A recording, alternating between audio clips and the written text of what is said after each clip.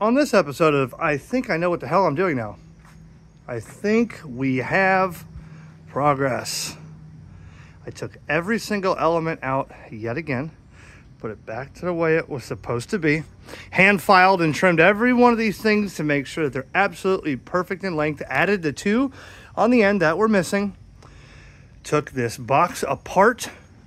I had to reflow all the solder joints in there. I had to remove the feeds off of there and, and resolder them. Had some problems in there. Talked to Dr. Jack of Compactenna for a while, and uh, he's very smart, like a brainiac, and basically said what everybody else said in the comments. You got something wrong, Eric. Well, here's what I know now. As my backyard's a mess, I just disconnected everything.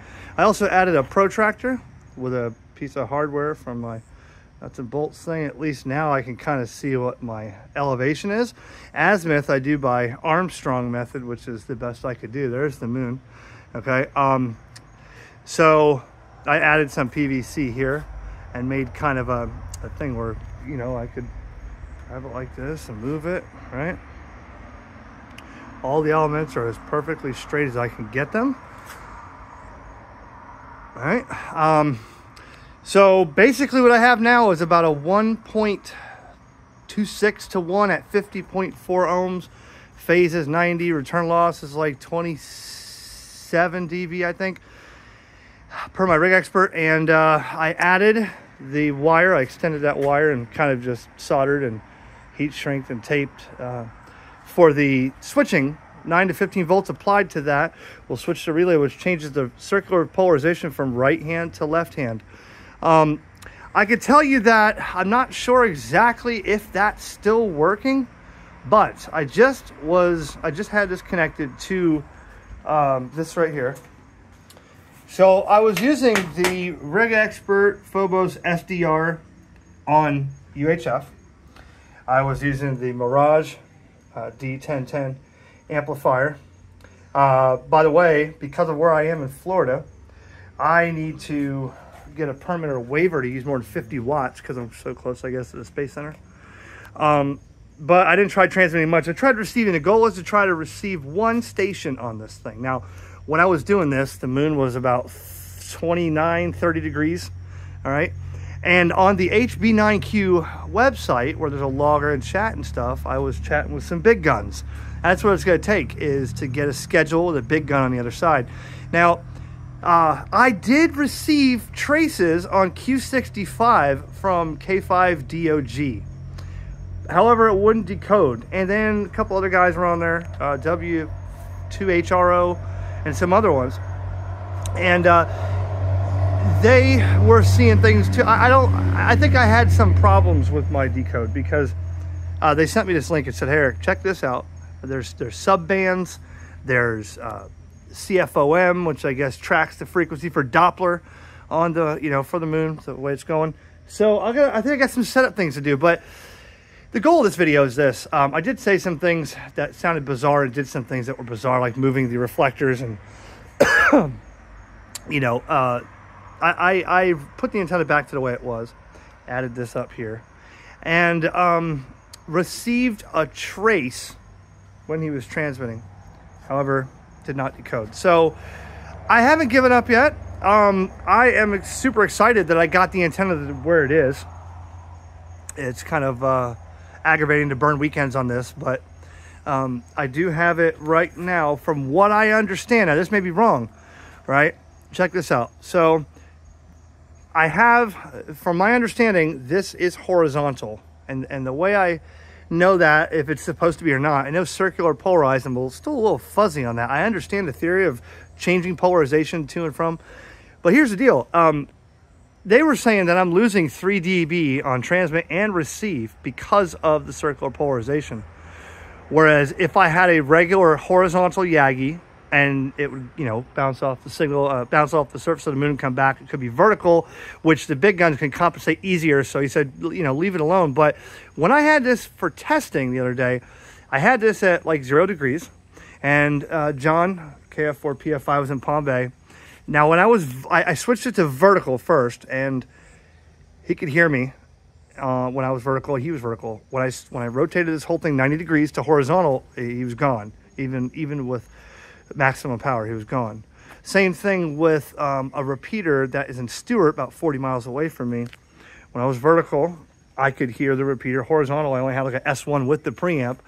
And like 15 degrees each way off that repeater, it would just totally wash out. So it's got some directivity to it. But is it supposed to be dominant on horizontal or vertical, or is it a combination of both? Because if if that's the case, this is a horizontal Yagi right now. And I'm not sure the circular is working, but I got the uh, SWR where I need it. And um, I did receive traces on Q65 from uh, a couple stations, but it wouldn't decode. It was really, really down in there. Now, I don't have a preamp. Okay, um, I do need to get a preamp. I was using some of this here. The uh, This is 7 8 inch Heliax with some end connectors on the end, really good ones. All right, and that's a pain in the you-know-what, trying to keep that heavy and stiff line here and keeping the elevation azimuth where it was. So I had it finagled like on the chair right here, this old chair, to where it was balancing it and then I just slid the coax over a little bit and pulling on the antenna it would do this you know right so that's kind of what I was doing however I just wanted to make this video and show that we're almost in business I, I want to prove to you that I can do this in the backyard because there was several comments that came in that I had to delete you know I'm an F and a-hole um, uh, this will never work why do you think people spend half their life savings on 15 acres to build 48 element arrays? I'm stupid for trying this in the background, the, the backyard. The worst thing that would happen is this doesn't work for moon bounce, and I could use this as a satellite antenna. Or the best thing is it does work for moon bounce, and I can at least decode, receive, and possibly transmit probably easier at zero degrees on the horizon as it you know comes right up and rises on the ocean I get like 6 dB of, of ground gain facing zero right over the horizon, whereas up there it's a little tougher. Plus, there's you know perigee, apogee, you know different times of of the lunar orbit. It's closer to the Earth and farther away, so that makes a difference. Also, the the noise. Um, you know, I was using the 705, um, and I couldn't see anything with the rig expert, I could, it wouldn't decode. Um, but I need to get more familiar with HDSDR. There might be some preamp, uh, not preamp, but uh, bandwidth settings I need to, to manipulate here. Okay, but this backyard's a mess here. I was tearing all kinds of stuff apart. Yeah, weather stations over here apart and different things. So, anyways, um, you know, don't give up. Don't give up on any projects. So basically, what it boils down to, I had a problem in this box. Oh, another one. You see these uh, feed points here? I don't know if you can see this in the dark. Let me see. Right, you see, you see how this is a, a, an encapsulated or epoxy. Let me see how I do this. There you go. It's like an epoxy box, right? And the little things come out of the side where you bolt onto the, you know, driven element. Well, I don't know if you can see this over here, but this one wasn't even connected inside. And if you look there, I don't know if you can see that, I had to take a soldering iron that I'll never use again, heat it up and wallow out that hole, smoke it all to hell to get that piece in there and solder it. So now I have continuity on both sides of this, which was a problem. I have um, continuity into here, okay? And I got the SWR down, like I said, about 1.2. And when I switch this circular polarization circuit, it goes up to about 1.35 SWR. I'm not sure why? I know also that the only way I got it that close on SWR, this one, about an inch and a quarter from the boom where it says in the manual, this one I had to get as close as possible. See how close that is to the boom? That's the only way it would tune. Um, so that is an update on this antenna. I am going, I repeat, I am going to show you that I could decode tomorrow is a DXpedition EME event. There's going to be a ton of people bouncing signals off that moon. And I want to be a part of decoding those. I don't, I mean, there'll be a lot of big guns on there, on the air. So I might be able to make a transmit and make a contact because for what I don't have, they do have. Backyard to backyard, probably not possible. Backyard to big gun, absolutely. So um, take a look at those elements one more time. I got them, man, I got them pretty straight. All right that's pretty straight. Those are pretty straight. A little bit of a sag with the boom in the middle.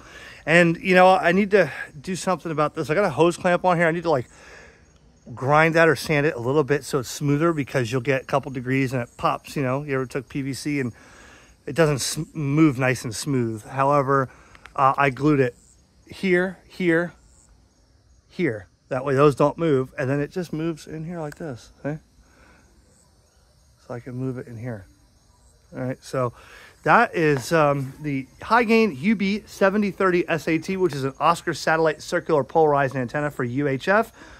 432 to 436, which I'm using, trying to use for moon bounce. But if you think that I should take all this off and feed it with a switch, uh, feed it both of these one at a time so I could switch from horizontal to vertical and, and gain a few dB, let me know because that's what they're saying online on the chat.